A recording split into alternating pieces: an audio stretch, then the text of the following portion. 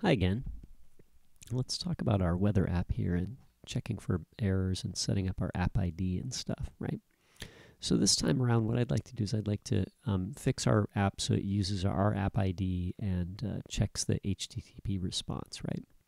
So you'll need to set up your um, Open Weather Map account and get yourself an app ID, okay?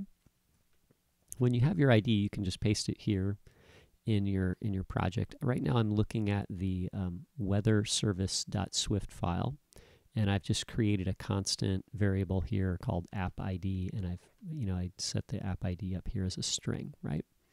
Okay. So next, what we need to do is we need to make a path to Open Weather Map. And our path needs to look like this. It's going to be http slash slash api.openweathermap.org slash data slash 2.5 slash weather. And that's that's the path okay? Right? And then then there's this question mark right? So so this is the path right here that we need okay? So just get that figured out right? And then after that this is like extra information that we're sending to the server okay? This is called the query string and the query string includes name and value pairs. So, you know, the, the two values or the two names that we want to send are Q and app ID. Okay? And, uh, you know, if our path looked something like this, if I, let me copy this here. Let's imagine I have the path something like that, right? And then I have the question mark here. What I want to do is I want to add q equals and then some value here, right? And then when I want to add another value, I'll use the ampersand and I'll name that value and then put the equal sign and give it a value. So actually I should say I should give it, uh, you know, put the name down and then say equal and then put another value here. Okay, let me break that up with a couple um, shoot, and then this thing wants to, um, you know, treat it like a URL, right? I'm gonna, I'm gonna just delete this first part here so it doesn't um, make it a link, right? But you know, if I put some spaces in here, you'll see that I've got the name here, equal sign, and then the value that I want to set. So when we use the Q name, the value is going to be the name of the city. Okay, so we'll say city here. And then ampersand, we begin a new value. And then we need to say app ID, and then this needs to be our app ID. Now, now you could just put your app ID here. It's kind of convenient though to just use a variable there and then have the app ID here. It's easier for you to edit the app ID, right? So, so that's why I've done it this way. Okay. And and when you do the the thing here, you can't really have any spaces around here. Okay, so so I'm just doing this for clarity, just a little bit, you know, make it a little easier to read.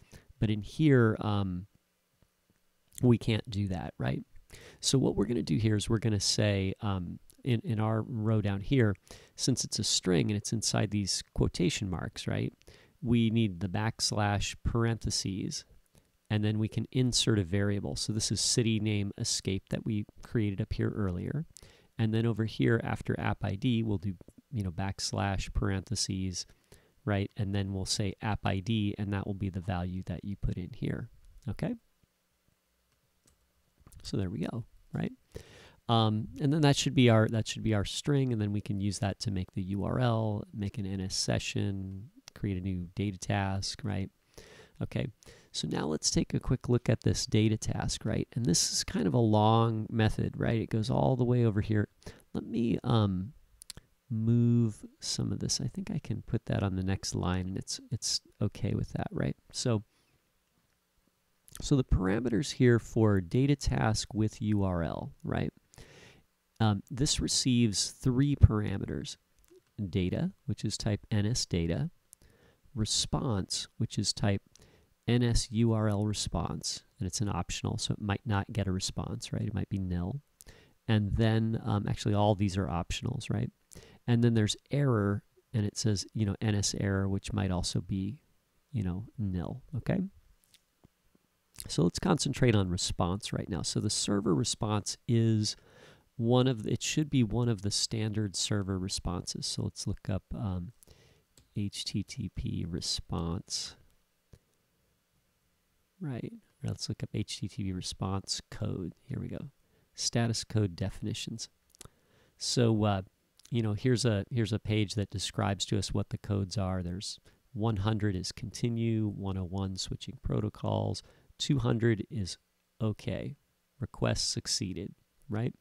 And then there's a bunch of these. Um, let's get down to the 400s, which are interesting, right?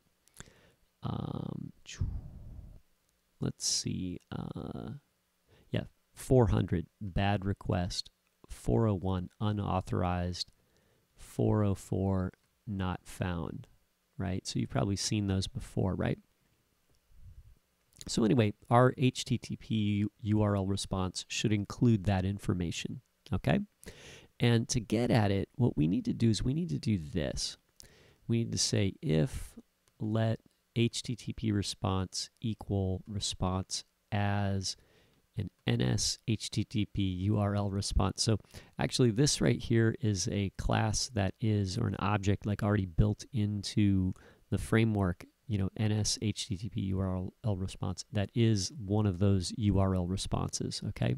So this kind of manages that. And it has a lot of other properties because the server actually sends a whole bunch of information describing, you know, the state and how everything is working. Um, one of the properties it has is status code.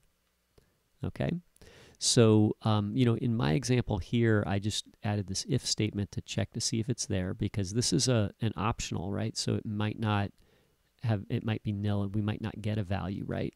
So um, we're putting it here, and then we're going to cast it or attempt to cast it as an NSHTTP URL response, right? And so if this if this is successful, right? So it means this is not nil and this it's able to cast it as as this type, then we'll have, you know, a variable called HTTP response and it will be an NS HTTP URL response, right? So the HTTP, HTTP response will have a property called, in that case, we'll have a property called status code, and that will be the value, like 200, 400, 401, 404, right? Okay, and right now I'm just printing this out to the um, to the uh, to the console, right? But um, you could send it to your other file too. We could respond with um, you know, weather error, you know, with message, right? So we could send it that way. Um, I'm leaving that out for now, right? We can come back to that later, but but this is how we're going to get the regular URL response, right? And if you, um, you know, if I test this right here, just imagine that we're testing just this part, right? Um, and I'll put um,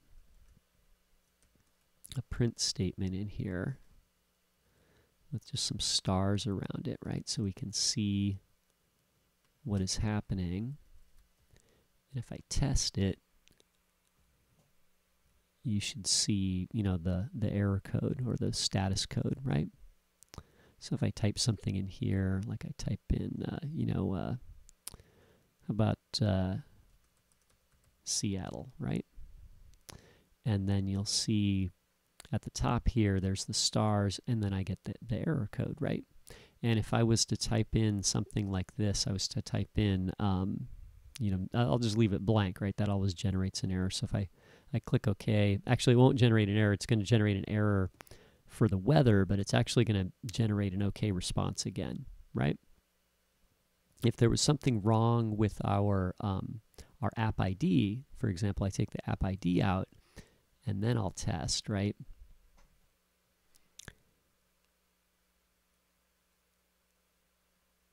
And then this time, when I try and set the weather, you know, no matter what I do, it's going to give me a 401, right? So that's like unauthorized because you don't have the correct app ID. Okay, so anyway, so that's how we use the HTTP response, and we'll add some more error checking for that later. Okay, um, so thanks for watching, and I hope that's interesting.